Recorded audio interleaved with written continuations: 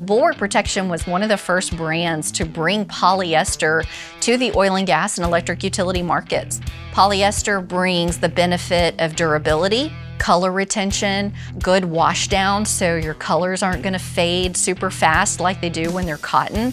It feels good against the skin. And because of our laboratory and our partnerships, we were able to test polyester fabrics, polyester fibers in different weaves and different knit constructions to bring a comfortable, stylish garment to the end user that's used a fiber of polyester that's known to be a meltable into the flame resistant market and it still meets the standards. So we're able to make polyester not melt when it's in the hazards of the oil and gas or the electric utility work field.